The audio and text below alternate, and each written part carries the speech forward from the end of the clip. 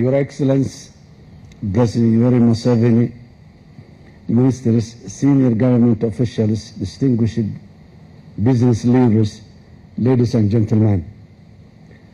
I thank and express my profound appreciation for His Excellency, President Yoweri Museveni, the government and the people of the Republic of Uganda for the invitation and the warm welcome extended to me and to my delegation for organizing the Somalia-Uganda Investment and Business Summit, a historic event that has taken place today here in Kampala. Somalia and Uganda enjoyed growing cordial and excellent bilateral ties based on common shared history, values, and mutual interests. We value these ties and will work to further enhance them in the spirit of Pan-Africanism and East African brotherhood.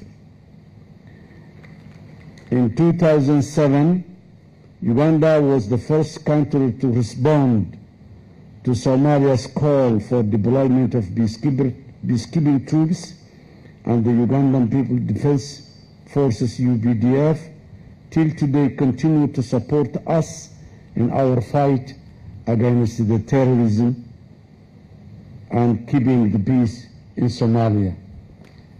This is a sacrifice and contribution at its highest level from a nation to another brotherly nation. We are grateful for the support and we assure you, Your Excellency, that the sacrifices made by Uganda boys and girls will never, will not be in vain. The Somali people are very entrepreneurial and many have invested in key sectors of Uganda, Ugandan economy, including manufacturing, real estate, and other thriving sectors. We look forward to welcoming Ugandan business people willing to invest in many of our competitive industries, including agriculture, livestock, fisheries, and service sector, and more.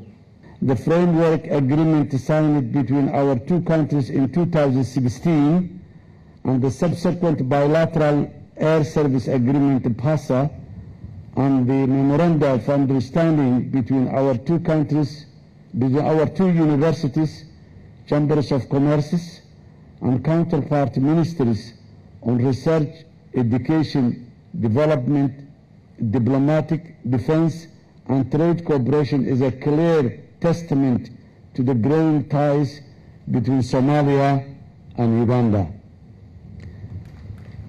Somalia has a clear understanding of the shared benefits that come with the working together and we are ready to deliver the strong leadership and commitment required to contribute to boosting intra-regional trade and investment.